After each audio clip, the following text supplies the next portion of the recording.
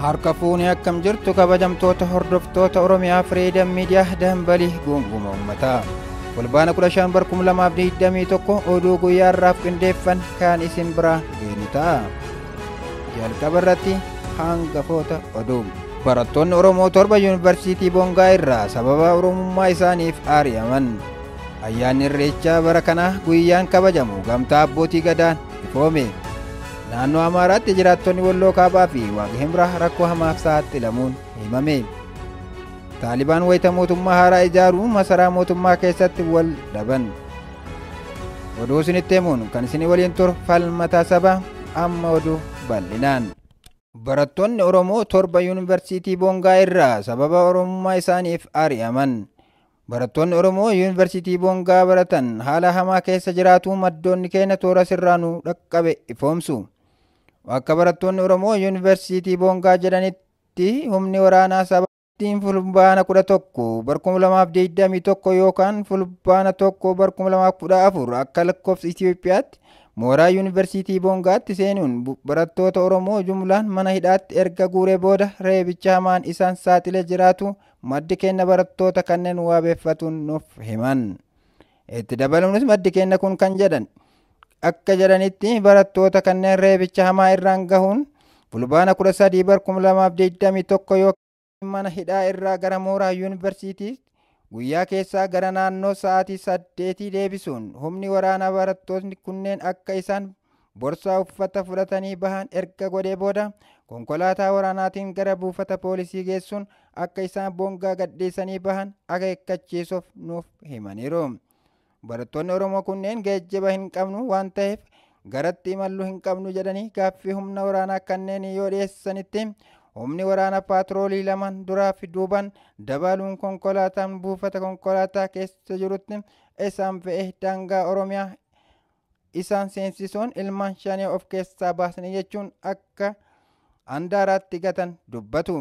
Barattoonni Oromoo mooraa Yuunivarsiitii Bongaa irraa ari'aman badii tokko malee sababa Oromummaa isaaniitiif Oromummaan yakka ta'e akeekkachiisa tokko malee akka daangaa Oromiyaa keessatti gataman ta'an jedha maddi keenya kun. Barattoonni kunneen maqaan isaanii Abbayaa Ijjataa, Qalbeessaa Soorii, Boonaa Soorii, Qajeelaa Habtaamuu, Zakariyaas Margaa, Dabalaa Waaqjiraa, Iyyoob Salamoon kanneen jedhaman akka ta'anis beekame. Barattoonni Oromoo Yuunivarsiitiilee Oromiyaan ala jiran bakkoota hedduutti dararaan kan irra gahaa jiru yoo ta'u, guyyaa kaleessaa fulbaana kudha sadii bar kuma lamaaf digdamii tokko irraa qabe mooraa Yuunivarsiitii Jijjigaa keessatti rakkoo hamaa keessatti kan argaman ta'uu barattoonni Oromoo mooraa Yuunivarsiitii Jijjigaa ni dubbatu. Barattoonni Oromoo mooraa Yuunivarsiitii Bongaa irraa ari'aman akka barattoonni Oromoo Yuunivarsiitii Oromiyaa keessa jiraniif ilmaan Oromoo bakka jiru sagalee ta'uufis gaafataniiru.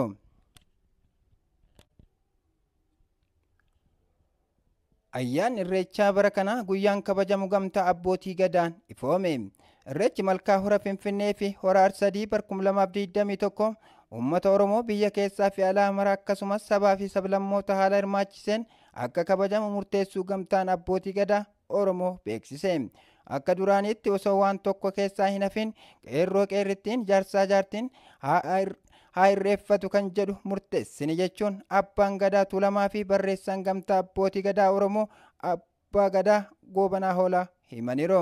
Ayyaanni bara darbe sababa weerara koronaa vaayirasiin namoota murtaa'e qofaan ture kan kabajame. Oromoon dha ilaallatee guyyaa ayyaanota adda addaa murteesse kan jedhan abbaan gadaa goobana hoolaa irreechi malkaa bara kana fulbaana 22 hora finfinneetti fulbaana 23 ammoo magaalaa bishooftuu hora arsadiitti akka irreeffatamu murtaa'us himan. Murteen kun gamtaan abbootii gadaa Oromoo marii biiroo aadaa fi turizimii Oromiyaa waliin qibxata kaleessaa magaalaa Adaamaatti gaggeesseen booda kan murtaa'e. Kabaja ayyaana irreechaan walqabate yaaddoon nageenyaa fi COVID-19 jiraachuu kan himan abbaan gadaa goobana hoolaa dhimma nageenyaa qaama dhimma nageenyaatiif dhimma COVID kudha sagal ammoo biiroolee fayyaa magaalaa Finfinnee Oromiyaa fi Federaalaatti kennineerra jedhan. Ministeerri fayyaa Itoophiyaa gosti vaayirasii ariitiin tamsa'uu fi nama ajjeesuunis hamaa ta'e deelta vaayirasi jedhamu Itoophiyaa keessatti argamu beeksiseera. Uummatni dhimma weerara kanarratti hubannoo akka argatu maal gochuu akka qabu ibsa akka argatu biiroolee fayyaatti kennineerra jedhan abbaan gadaa goobanaa hoolaa kan bardheen gadda haga dhukkubechi mataa fi miilli beekamutti haga wanti ija duraaf qaban baramutti haga uummata biratti xiyyeeffannoo argatutti jedhame namoota muraasaan akka kabajamu murtaa'e jedhan irreecha finfinnee bara kanaa irratti namootni miliyoona kudhan ta'an irratti argamu jedhanii akka eeganis abbaan gadaa himaniiru. Naannoo Amaaraatti jiraattonni walloo kaabaa fi waaqi himraa rakkoo hamaaf saaxilamuun himame. Bakka hidhattoonni TPLF to'atan walloo kaabaa fi bulchiinsa saba waaqi himraa keessa jiraattonni rakkoo guddaa keessa akka jiran dhalattoonni naannichaa himan. Naannicha keessa haala jiru gadi fageenyaan beekuuf akka cimaa ta'e namootni himan kun maatiin isaanii naannolee kana keessa jiran haala akkamii keessa akka jiran baruu dhabuun akka isaan yaaddesse himu. Naannoo Amaaraatti koomishiniin ittisa balaa fi wabii nyaataa akka ibsetti naannolee to'ate walloo kaabaa fi bulchiinsa waaq himraa keessa jiraattota jiran qunnamuu kan hin dandeenye ta'uu garuu rakkoon hanqina nyaataa jiraachuu danda'a yaaddoo jedhu akka qabu ibseera. Koomishinichatti hoogganan daayireektorootii of eeggannoo fi deebii hatattamaa obbo Jambaruu Dasee sababa waraana kanaan namootni qe'ee isaanii irraa buqqa'anii naannolee ollaatti baqatanii fi gargaarsa namoomaa taasisaa akka jiran ibsuun naannolee to'annoo TPLF jiran garuu seenuu waan hin dandeenyeef haala jiraattotaa beekuun akka hin danda'amne ibsan. Ta'us garuu karaa sagantaa nyaataa addunyaa wiixata irraa eegalee gara walloo kaabaa fi bulchiinsa waaq himraa gargaarsi geeffamu akka jalqabe beeksisan. Kaaba walloo daalantaa fi daawunti seenanii gargaarsa nyaataa raabsuun eegalameera. Bulchiinsa saba waaq himraa keessatti saqotaa fi abargalleettes gargaarsa geessaa jiru. Guyyaa lama yookiin sadii booda gargaarsa raabsuun ni eegalama jedhu hoogganaan kun. Bulchiinsa saba waaq himraa aanaalee dahannaa fi taahin jedhamaniin ala aanolee jiran hunda sagantaan nyaataa addunyaa akka seenan itti himamuun hoogganaan kun ibsaniiru. Ji'oota dura mootummaan federaalaa kophaa isaa labsii dhukaasaa dhaabuu labsee naannoo Tigraay keessaa ba'uu isaa hordofe hidhattoonni TPLF naannoo Amaaraa fi Affaar seenuun waraana eegalan. Torban darbe naannoo Affaaritti bakkeen to'atamanii turan bilisa baafamu mootummaan kan ibse yoo ta'u dubbii himaan TPLF Geetaachoo Raddaa garuu hidhattoota isaanii kan Affaarii baasan mo'amanii osoo hin taane gara naannoo biraatti akka bobba'an barbaadameeti jechuun reevutarsitti himanii turan. Haa ta'u malee naannoo Amaaraa, Walloo Kaabaa, Kaaba Gondarii fi bulchiinsa Waaq Himraa keessatti naannoleen argaman hundi to'annoo TPLF jala jiru. Sababa kanaanis namootni kumaataman lakkaa'aman naannolee ollaatti baqatanii buufata yeroo fi keessa jiraata jiru. Ta'us garuu jiraattonni harka caalan naannolee kana keessa hin baane. Haga ammaatti naannolee kana keessa haalli jiru ifatti kan beekamu miti. Torban darbe dhaabbata mootummoota gamtoomanitti sagantaan nyaataa addunyaa naannoo Tigraay, Affaarii fi Amaaraa keessatti namootni miliyoona torba ta'an rakkoo beelaa fi saaxilamuu akka danda'an ibsuun isaa ni yaadatama. Dhaabbatni kun akka jedhutti kaaba biyyattiitti sababa waraana uumameen naannoo Amaaraa fi Affaar keessatti namootni miliyoona tokko tuqaa torba beelaaf kan saaxilaman yoo ta'u namootni kuma dhibba sadii ta'an ammoo qe'ee isaaniirra buqqa'aniiru. Obbo Jambaruun walloo kaabarraa namootni kuma dhibba lamaaf soddomii sadii ta'an qe'ee isaanii irraa buqqa'anii magaalaa Daseetti mana firoottan isaanii fi buufataalee yeroof qophaa'an keessa akka jiran ibsanii namootni kuma dhibba tokkoof jaatamii sagal ta'aniif gargaarsi geessineerra jedhan lakkoofsi buqqaatotaa garuu ammayyuu dabalaa jira jedhu. Jiraattonni kun gargaarsa jiraattota naannichaaf mootummaa irraa argataa kan jiran ta'us gargaarsi wantoota nyaataa hin taane garuu ga'aa waan hin taaneef keessumaa haadholii fi daa'immaniif gargaarsi dabalataa ni barbaachisa jedhan. Godinaalee Gondar Kaabaa fi Gondar Kibbaa gariin Walloo Kaabaa fi bulchiinsa Waaq Himraa keessatti ijaarsaaleen hedduu waan barbaadaniif sababa waraana kanaanis jiraattonni hojii idilee isaanii gaggeessuu waan hin dandeenyeef qonnaa bulaanis qotachuu waan rakkateef lakkoofsi namoota gargaarsa barbaadanii dabaleera jechuun obbo Jambaruun himaniiru. Keessumaa Walloo Kaabaa fi bulchiinsa Waaq Himraa keessatti rakkoon hanqina nyaataa jiraachuu mala yaaddoo jedhu akka qaban ibsan. Hidhattoonni TPLF naannicha seenuu isaanii hordofee namootni kuma dhibba jaaf shantamaa ol ta'an gahee isaanii irraa buqqa'uu fi walumaa galatti naannicha keessatti namootni gargaarsa barbaadan miliyoona afurii ol ta'uu isaanii hoogganaan kun dubbatan.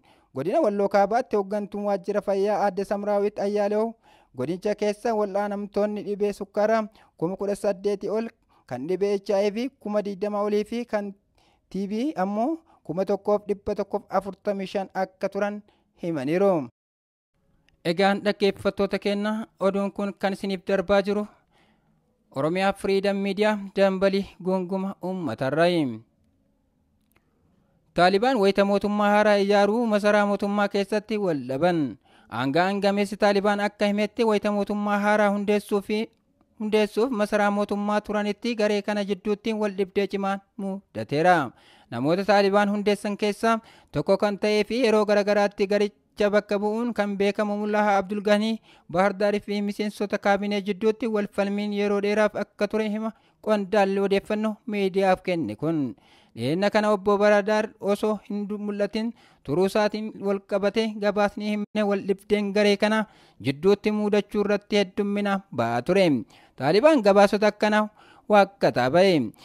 Ji'a darbe guutuu Afgaanistaan kan to'ate gareen Taalibaan kaabinootni isaa hundanuu dhiirota qofa dubartoota hirmaachisuu waan dideef jedhamee hiriirri mormee irratti ba'amaa ture.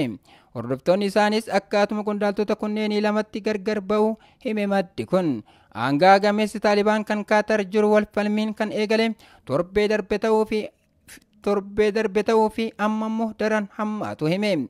Yeroo ammaa ministeera muummee ta'uun kan tajaajilaa jiran obbo Baradaar haalli caasaa mootummaa ce'umsaa waan isaan gammachiifneef maddi wal dhibdee isa kana kana jedha qondaalli taalibaan kun. Waldhibdeen kun jalqaba isaa injifannoo argame wal saamurraa maddus hime obbo Baradaar sababa namoonni akkasaa hojii dippiloomaasii milkaa hojjetaniif injifannoon argame jedha. Kaan ammoo fakkeenyaaf miseensonni garee haqaanii injifannoon hunduu waraanaan argame jechuun falmu. Gareen caasaa haqaanii miseensa gameessa taalibaan tokkoon hoogganama. Obbo Baradaar qondaala taalibaan yeroo jalqabaaf kallattii USA waliin dubbateedha. Bara 2020 Doonaald Tiraamp waliin bilbilaan dubbateera. Isa dura immoo akkaataan loltoota USA'n Afgaanistaan keessaa baasuu irratti Taalibaan bakka bu'uun Dohaatti waliigaltee mallatteesse. Caasaan garee haqaanii irraa ijaarame ammoo haleellawwan Afgaanistaanii fi lammiilee irratti akkasumas michoota mootummaa Afgaanistaan warra lixaa irratti raawwatamaa turan waliin maqaan isaanii ka'a. Gareen kun mootummaa USA'n shoror keessaa jedhamuun addatti farrajame. Hoogganaan garee kanaa Sirajjuddiin Haqaanii mootummaa ce'umsaa haaraa keessatti ministeera dhimma biyya keessaati. Erga wal dhibdeen hammaatee booda obbo Baradaan Kaabul keessaa miliquun gara magaalaa Kandahar seenuun maddi kun miidiyaaleetti himeera. Hundeessitoota Taalibaan ganama keessaa tokko kan ta'e Baradaan erga sagalee waraabuun wiixata darbe dabarseen an imalarran jira jechuun ibse bakka amma jirutti hundi kennayyuu nagaa jirra jedhe sagalee waraabame miidiyaalee taalibaan hedduu irratti gadi dhiifame kana garuu miidiyaaleen addatti mirkaneeffachuu hin dandeenye taalibaan akka jedhutti wal dhibdeen tokkoyyuu hin jiru obbo Baradaaris nagaa qaba garuu haala amma irra jiruu fi hojii hojjetaa jiru irratti yaada wal falmisiisaa waan kenneef rakkoon uumame dubbii himaan taalibaan akka ibsetti obbo Baradaar hoggansa olaanoon taalibaan argachuuf gara Kandaharaa imale inni garuu waan dadhabeef boqonnaa fudhachuuf garas akka imale BBC'tti hime hogganaan olaanaa taalibaan Ibatullahi Akahundazaadhaa ija hawaasaa duraa erga shakkii fi hamiin akkuma itti fufetti jira. Namni kun aanga'aa gameessa taalibaan yoo ta'u dhimmoota siyaasaa waraanaa fi amantii kan qajeelchudha. Gabaasni kan BBC'ti. Egaa dhaggeeffattoota keenya oduun guyyaa irraaf qindeeffanne kanuma ture waan nu hordoftaniif galatooma.